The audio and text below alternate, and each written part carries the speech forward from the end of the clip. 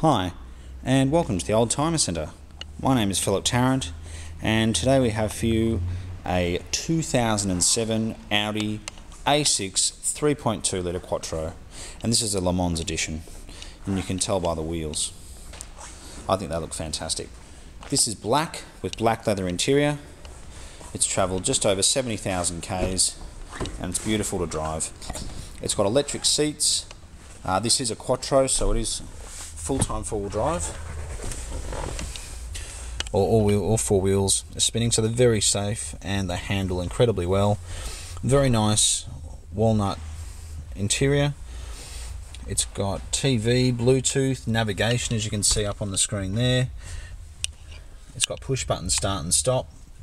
These are really lovely cars. In fact, there's really not a lot that separates something like this to an Audi A8 of a similar year. Does have a sunroof as well. It's got a very good logbook to it. And uh, it's travelled 74,000 kilometres. All the tyres looks to be in very good condition. The body seems to be in very good condition indeed. It even has the rear blinds on the back there.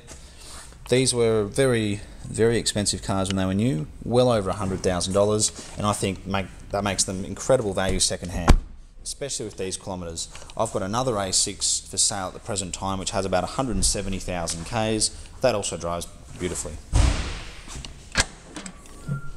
So got a nice big boot. Um, there's your spare wheel, which has definitely never been on the car, and you can tell. This has a full-size Audi battery, it looks like, which is great. Sometimes when you put smaller batteries in these cars to save money, they can throw up fault codes and all sorts of things. Again, being the 3.2 litre Quattro, it's got the twin exhaust system, which also looks very, very good, as you can see down there. All the wheels are in very good condition. As I said previously, the tyres are in great condition. It really is a nice car.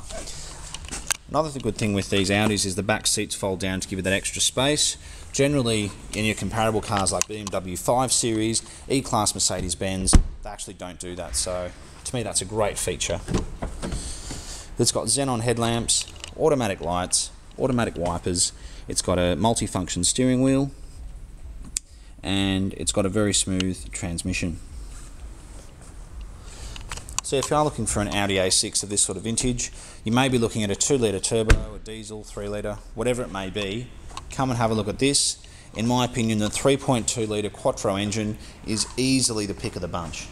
They sound fantastic, they're ultra reliable, and yet they don't use much fuel. So we're the Oldtimer Centre. We're located in Marrickville. Give us a call, take this for a drive. You're not going to be disappointed. This really is a lovely car.